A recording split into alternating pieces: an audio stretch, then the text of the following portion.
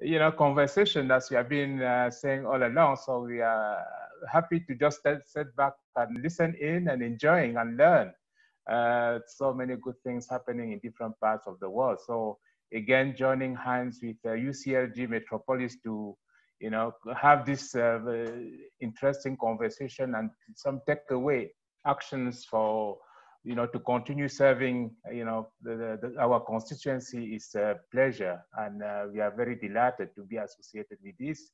Um, if I have to say a few things in terms of uh, COVID-19, we have been saying, saying, in all these series that uh, it had been uh, revealed as a urban-centric uh, pandemic, as many other pandemic in the history, and the, the urbanization as is uh, unfolding will uh, now draw lessons from that to be more resilient, to be to build societies, as we have said all along, to, to be to create more humanity around uh, human settlements, to look at the systems, not only of the food system, but the system of city, the system of settlements, and so forth.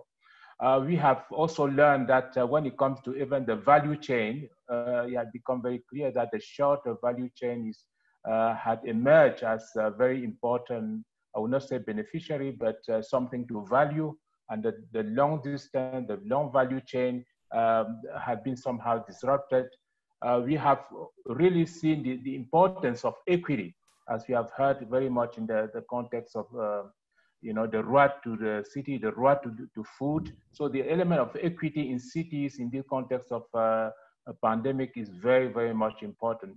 Um, I have uh, as UN Habitat, we take away the importance of really the system of governance, not only local and national government, even at the international level, how are we handling the food system or the pandemic at the international level? So it goes from the household to the neighborhood to the, you know, up to the level of international that if you don't have that solidarity built in, uh, then you become very fragile. It's really that system that we have to all uh, built in. Just two small points that are very critical.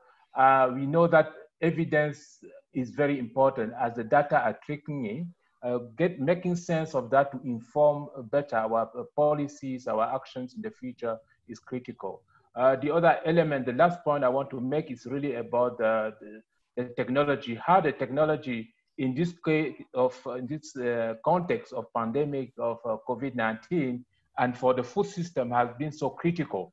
So we should always think about, uh, you know, the importance of um, technology and that we don't create um, gaps. And that's why at UN Habitat, we believe that it's not only leaving no one behind, but leaving, leaving no space behind so that the rural area, the small town, the peripheral are not really disenfranchised. So these are some of the things we are taking away. Uh, very pleased to be here and that the nexus between food and health is very much uh, shown in this type of conversation we just had.